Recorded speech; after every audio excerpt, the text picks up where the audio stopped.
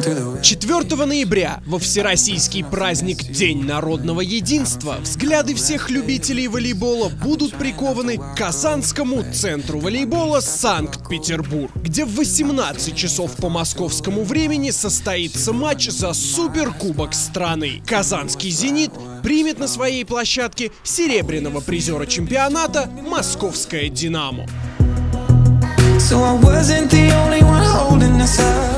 Волейбольный клуб «Зенит Казань» приглашает вас на арену за час до начала матча. Двери центра волейбола откроются в 16 часов 30 минут. В это же время для удобства болельщиков от станции метро Проспект Победы начнут курсировать специальные шаттлы, которые в течение часа смогут бесплатно доставить вас до центра волейбола. На самой арене специально для вас будет функционировать обновленный фудкорт, национальная татарская еда или или же уникальные комбо-наборы Мэтт, Макс и Лео решать вам. Для детей и их родителей у нас подготовлен отдельный сюрприз. Детская игровая комната с конкурсами и аниматорами. Приходите на волейбол всей семьей. Яркий фаншоп, величественный клубный музей, мейкап-зона и инсталляции с конкурсами отлично скрасят ваш досуг. А в 17 часов 30 минут мы ждем вас в зале, где на площадке начнется специальная яркая яркое предматчевое шоу.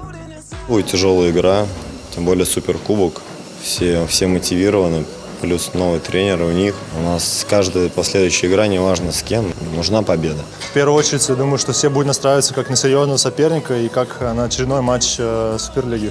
После непростого сибирского турне подопечные Владимира Олекна неделю готовились к предстоящему матчу. Команда чередовала тренировки на площадке и работу в тренажерном зале. Больше, наверное, уделяли внимание взаимодействию. Тренажерный зал у нас он все время примерно в одинаковом режиме, чтобы находиться в тонусе, чтобы не, перегруз... не перегрузиться. Все в обычном боевом режиме. Работали в том направлении, в котором плохо показали себя в последних играх. Есть защитные действия, но они не так, не системные, да, какие-то, а больше, скажем, личные качества. Хороший моральной разгрузкой для ребят послужил последний рэп-баттл Валентина Кроткого и Александра Будько. Да, тренер видел. Я тренировка началась да. да. С батла от Владимира Романовича. Кто смеялся, кто говорит, что прикольно, кому-то не хватало чего-то, да, там. Кого в следующем вызовешь на батл? В следующем на батл? Ну, мне, собственно, Оксимирон писал в Твиттере, вот, поэтому, ну, его пока еще рано, собственно. Я ему дам отойти от последнего его батла.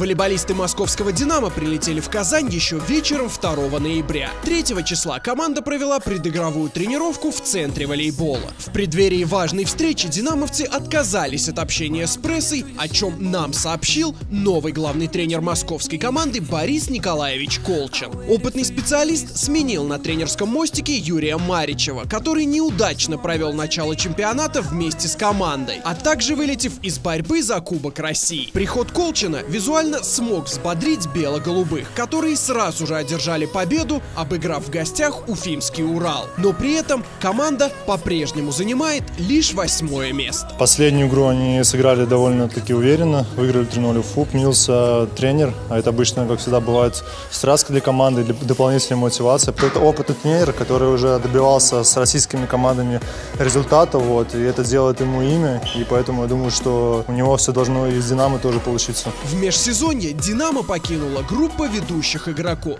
Гранкин, Бакун, Ильиных, Бирюков, Волков и Филиппов. Теперь у москвичей, по сути, новая команда. Игру за собой ведет Сергей Антипкин, помимо которого бело-голубые сохранили Маркина, Бережко, Круглова, Остапенко, Ермакова и Брагина. Главные новички «Динамо» прибыли из зарубежья. Пара доигровщиков Денис Калинин и Дик Кой, а также именитый французский блокирующий Кевин Леру. Правда, француз Союз не примет участие в матче, так же, как и трио Щербинин, Кемеров, Мельников. Я не могу сказать, что Гранкин там 80% команды, но то, что он 50% команды и больше, это 100%. Потому что у него огромный опыт, огромный багаж за спиной. Да, мне кажется, что оно стало слабее, вот, но не убирает того, что они могут и показывают последние особенно матчи хорошего любого. Рисунок команды это и есть рисунок связующего. Ну, слабее, сильнее сейчас тяжело сказать, но то, что Антипкин опытный связующий, это факт. Наверное, до лидера команды, как был Гранкин, ему еще расти, но, безусловно, он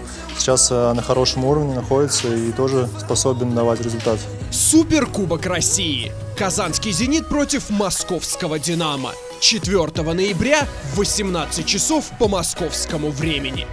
Еще раз, специальные шаттлы для вашего удобства от метро в 16 часов 30 минут. В это же время свои двери откроет Центр волейбола. А в 17 часов 30 минут вас ждет яркое предматчевое шоу. А мы ждем вас в Центре волейбола Санкт-Петербург.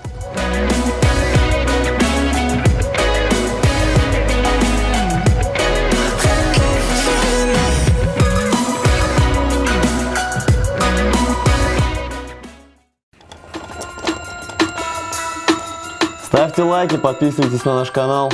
Молодец, хорошо сказал. Too fast. Too furious. I'm too fast for y'all, man.